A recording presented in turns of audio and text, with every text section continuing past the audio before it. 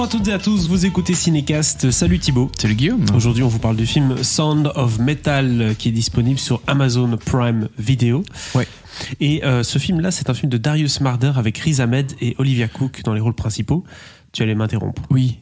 Euh, euh, qui n'est dispo qu'en Belgique sur Prime Video et dans d'autres pays, mais en France, le film sortira fin janvier. Nous sommes désolés. Amis français, pour une fois, on a la, la priorité. Qu'est-ce qui se passe là? Eh ça, ouais. ça sort chez nous d'abord. Euh, donc, Tax Shelter. J'accepte, merci. Parce qu'une partie du film se, se déroule pas à Bruxelles dans le film, mais elle était tournée chez nous, oui, parce que c'est- une coprod. Voilà. C'est une coprode. Pourtant, c'est un film bien américain euh, de base. Donc, je le disais, de Darius Marder avec Riz Ahmed dans le rôle principal. Ça parle de Ruben et Lou, euh, qui sont tous les deux des, des rockers hein, qui sillonnent les États-Unis dans leur petit van. Tu vois, le, le rêve américain des, des bons vieux rockers. Euh, sauf que le problème, c'est que Ruben, donc joué par Riz Ahmed, a un problème d'acouphène. Il, il devient sourd progressivement et assez rapidement d'ailleurs. Ouais. Et bah, faut forcément faire du rock quand on est sourd, euh, gérer cette relation avec, avec Lou, c'est un peu compliqué. Il va être obligé d'être aidé, euh, ou en tout cas de, de faire un cheminement. Donc je propose qu'on s'écoute un extrait de la bande-annonce. You sound great. Yeah, right. What? You tell me you were feeling it? You were in it. We don't need to. We don't need to put them all out. I know, but we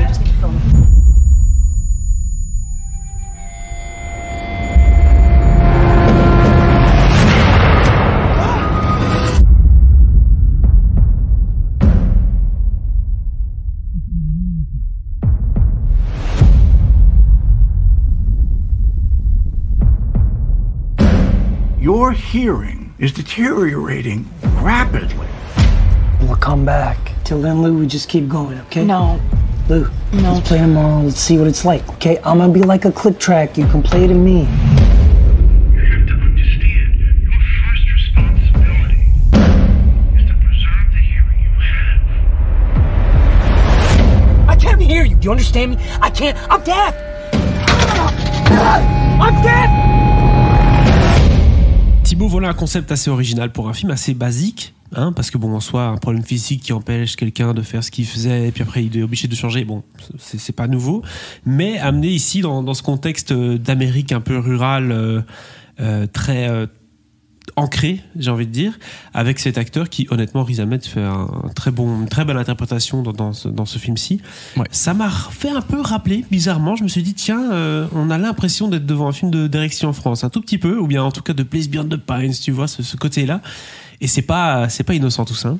Non, bah non, parce que effectivement, Derek Franz est derrière ce film. Alors Darius Marder, le, Marder, le réalisateur du film, est scénariste de The Place Beyond the Pines et du prochain film euh, de Derek Franz, Empire of the Summer Moon.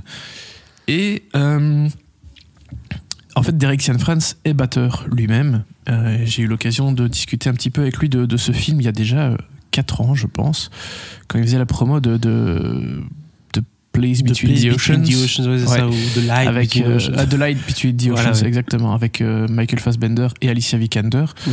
Euh, parce que voilà, à l'époque, je pense que ce film était indiqué comme étant un de ses prochains projets. Et à ce moment-là, en tout cas, il me semble que sur IMDb, c'était indiqué comme ça. Je pense qu'il était mis comme lui comme étant le, le- le futur réalisateur du, du film. Alors que, en fait, non, au final, euh, c'est, c'est ce qu'il m'a dit à ce moment-là, que ce serait son, son scénariste euh, qui réaliserait le film. Et en fait, donc voilà, lui est batteur et on a discuté un petit peu du, du problème des acouphènes euh, dont il a un peu souffert euh, et dont ça m'arrive parfois de, de souffrir aussi un petit peu euh, parce que j'ai beaucoup joué de la, de la batterie sans protection Oui. auditive. Attention, à toujours porter un casque. Bon, ça fait des années que j'en porte aussi, mais voilà, ça m'arrive d'avoir des, des acouphènes. Et donc, voilà, on a un peu discuté de ce- du projet à ce moment-là. Et voici qu'il arrive enfin, euh, et donc réalisé par Darius Marder, le scénariste de Derek Franz. Derek Franz n'a pas écrit le scénario, il a juste euh, écrit l'histoire, si je puis dire. Mhm. Euh, c'est vraiment Darius Marder et son frère qui ont écrit le, le- le scénario à eux deux. Et donc voilà d'où vient le, projet de, de ce film. Tout à fait. Donc, je le disais, film qui ressemble un petit peu au film de Direction France dans la forme. Pourtant, c'est pas le même réalisateur.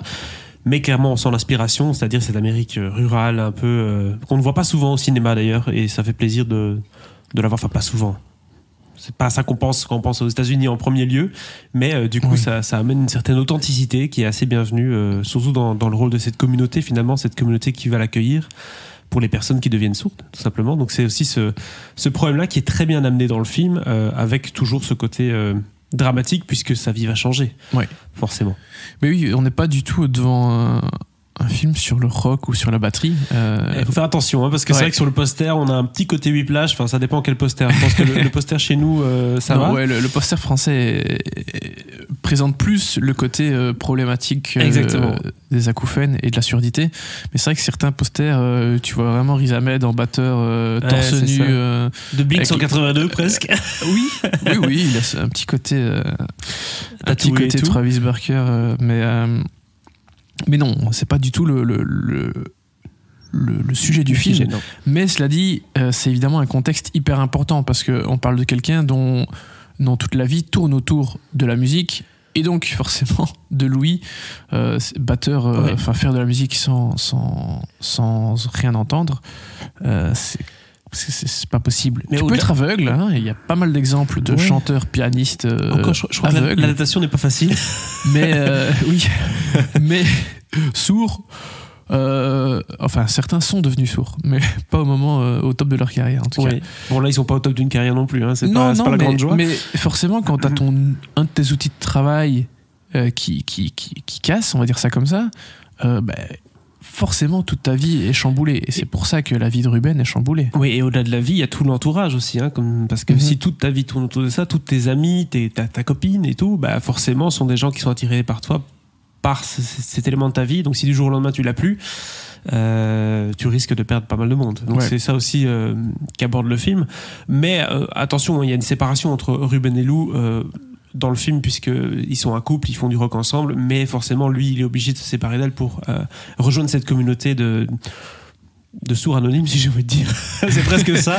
Euh, mais qui vont, entre guillemets, s'entraider et qui vont lui apprendre à vivre avec son, son défaut. On va pas trop en dire sur le scénario parce que sinon vous allez tout comprendre, mais, mais voilà. Euh, c'est sûr que c'est pas sur le scénario que le film surprend.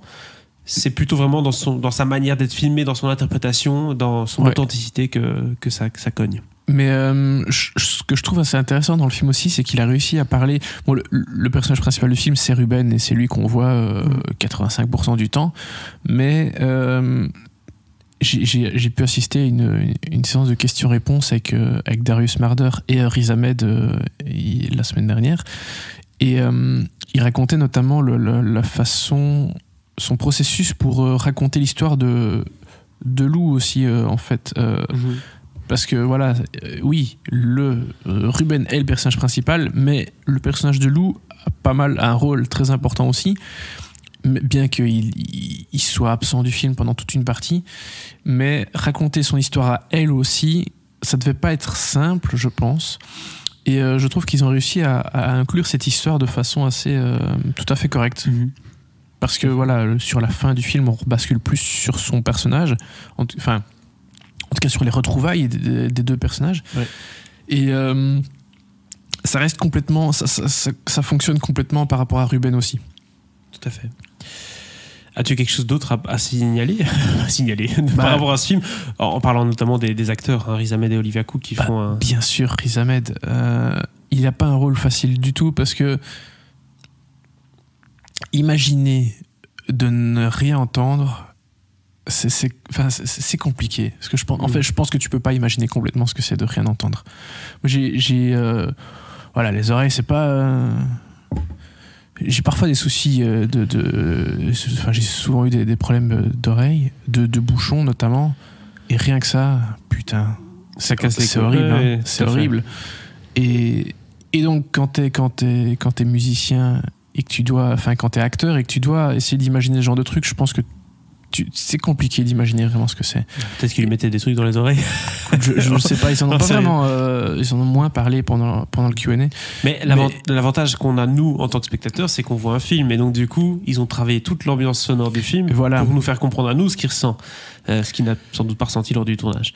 Non, exactement. Donc c'est vrai qu'au niveau performance, c'est compliqué.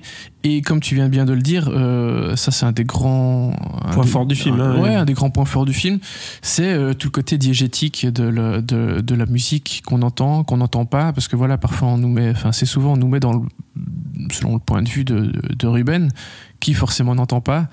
Donc euh, voilà, je trouve qu'il y a des choses assez bien faites à ce niveau-là. Et, Olivia Cook, euh, elle n'a pas un rôle facile non plus parce qu'elle doit, jouer une personne qui, qui supporte un peu. euh, qui doit supporter Ruben, enfin le soutenir. Mais à cause de lui aussi, entre guillemets, son monde s'écroule un petit peu. Ouais, elle est obligée de repartir à zéro, oui. Parce que voilà, c'est pas ce, ce- ce problème de surdité qui arrive, ça n'impacte pas la vie que d'une personne, ça impacte la vie de beaucoup d'autres personnes en fait. Donc voilà, c'est pas un rôle facile à jouer. Mhm. Et Olivia Cook, elle fait que confirmer euh, tout le bien qu'on pense d'elle euh, depuis un, un moment. Globalement, je pense qu'elle a, elle a pas vraiment fait de faux pas depuis le début de sa carrière, donc c'est euh, c'est vraiment pas mal. Écoute, je pense qu'on peut, on peut clôturer ici. Combien d'étoiles tu donnerais à Sound of Metal Euh, J'allais dire Sound of Silence, mais c'est pas le même, non, c'est pas le même truc. excellent morceau. oui, Mais euh, écoute, je, je vais donner un bon 4 étoiles. c'est vrai. très bon 4 étoiles. Waouh, donc ça c'est vraiment pas mal du tout. Euh, personnellement, oui, c'est vrai que j'oscille aussi entre un 3 et 4 étoiles, mais c'est vrai que ce film-là, en tout cas, m'a surpris. Euh, je m'attendais pas à voir un film aussi bon. Euh, donc, foncez-y hein, sur Amazon Prime Video pour regarder Sound of Metal. Sorry, chers amis français, il va falloir attendre un petit peu euh, le mois de janvier pour voir ce film. Mais c'est bientôt. Mais euh, Il attend de vous la peine. l'attente vaut la peine, tout à fait.